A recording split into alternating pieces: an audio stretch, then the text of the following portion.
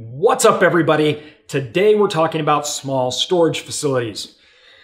I love small storage facilities because that's how I got started. And there's some definite pros and definite cons, which we have to go over. But before we do, everybody help us out, hit subscribe, and please like this video if you're finding it helpful. That helps me out, and we want to keep putting out good content. If you like it, we will. All right, so the pros and cons of small storage facilities. Some of these are obvious, right? I mean, pros are that you have access to them. They're smaller, they're less money. This is obviously a pro. It was for us when we started out and we were buying 10,000 square feet, right? May have been 50 doors. These are generally under a million dollars when you're starting out that small. These are also located in small towns. Both of these things come with pros and cons. Once again, one of the pros of buying a small facility in a small town is accessibility people aren't fighting over small facilities. And when I mean people, I mean the big boys, institutions, Wall Street funds, right? The REITs, none of those guys are going after the small facilities. So this allows access and this opens up a market, particularly for beginners.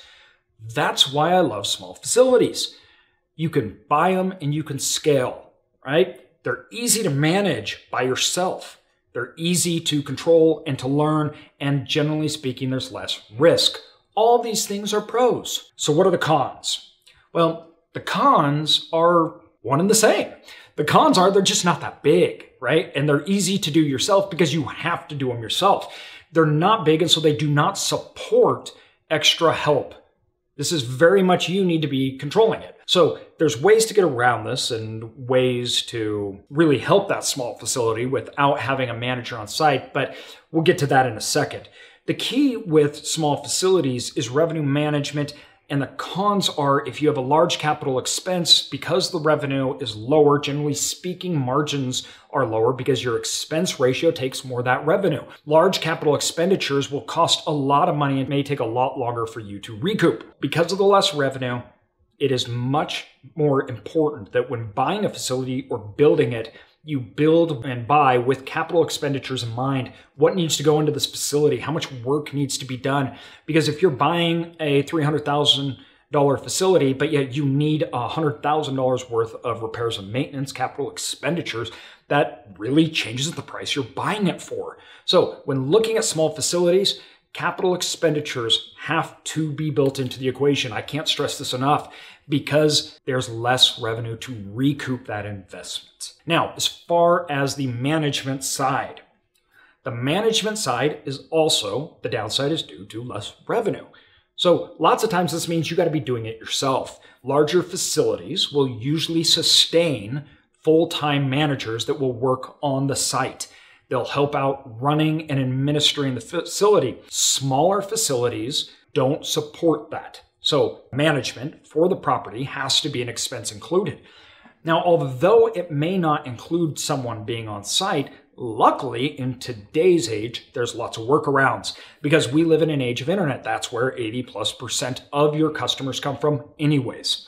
So, advertising online having a nice website and creating a keyless storage facility using products like Nokē that we use, this allows your customers to have access off of their cellular device. That means you don't have to have someone sitting there. Now, that does not take away. And a lot of people say, I have an unmanned facility. I, I dislike greatly these terms that it is a, you know, it's completely passive or that it's completely automated. There is no such thing as a truly automated storage facility because if someone decides that they no longer want to pay for their unit and they also don't want to get their stuff, someone has to come open up the unit. Someone has to take inventory, somebody has to put it up for auction, and somebody has to clean it out. And then somebody has to get it ready for the next customer. These things obviously have to be done on site. I just, they don't magically clean up themselves.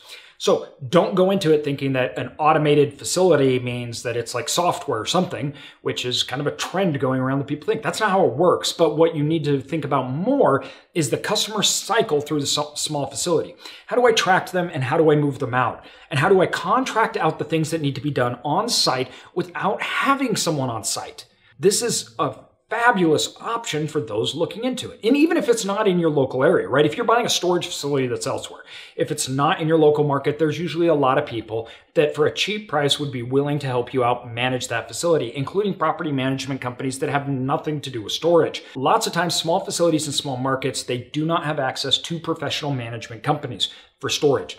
But those professional management storage companies lots of times cost a lot of money on small facilities because there's a lot of work that needs to be done without much pay. So, operating the facility is a very important and can be more time consuming part. Now, I say more time consuming, but of course, bigger ones are bigger. There's more going on. Now, the first plus that I talked about, access and buying, that's also a con.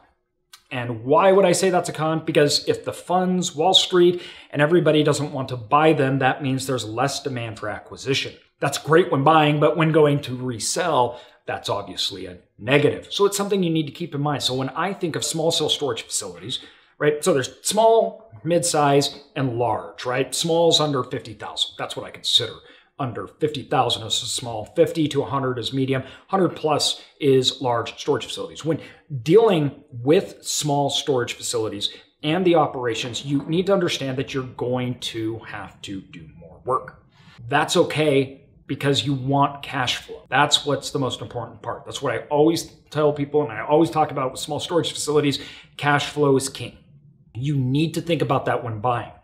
Are you going to be able to increase rates? Are you going to be able to turn the storage facility around? Is there enough demand to make sure that this storage facility is sustainable?